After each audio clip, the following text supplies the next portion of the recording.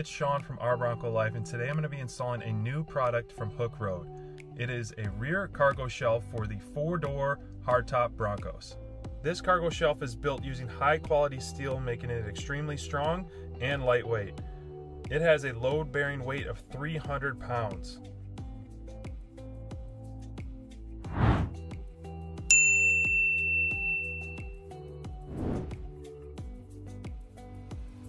Alright, when you're ready to install the side brackets, just take out your Bronco toolkit and you will use the same socket star key that you used to remove the three bolts on the hardtop.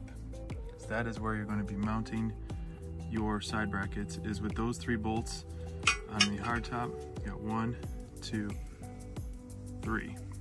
And this one is going to stay intact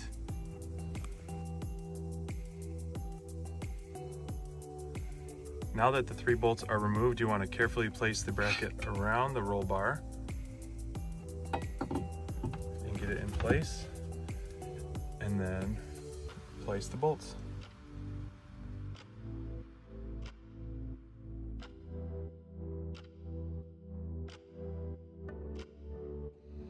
Now when installing the driver's side bracket, you have to unhook your power and your windshield wiper fluid for the rear of the hardtop.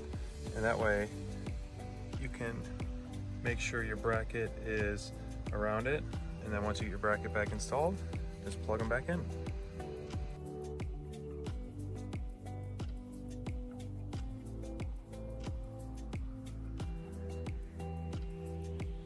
Now we recommend having an extra hand to help you install this bracket, which will make it much easier. But if you're doing it solo, the way I did it was loosen both side brackets so you can rest one side of the shelf on it while you are hand tightening bolts. And then once you get one side hand tightened, then you can shift over to the opposite side that it was resting on to add the bolts to secure it in position. Now I was able to do this because the side brackets are on a track, giving you a little bit of wiggle room back and forth.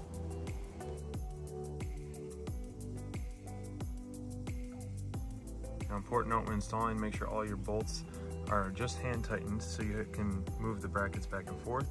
And I just have two bolts on each side that are loose and so that way I can line up the other holes right here and up here before I tighten them down. So same thing on this side. You can slide it back and forth because you have two of them that are a little bit smaller that need to be aligned perfectly before you tighten them all down. Another cool feature is if you do have your hardtop cap removed, this can almost act as a security barrier when you have your liftgate closed so no one can reach in and grab anything that is stored in your trunk.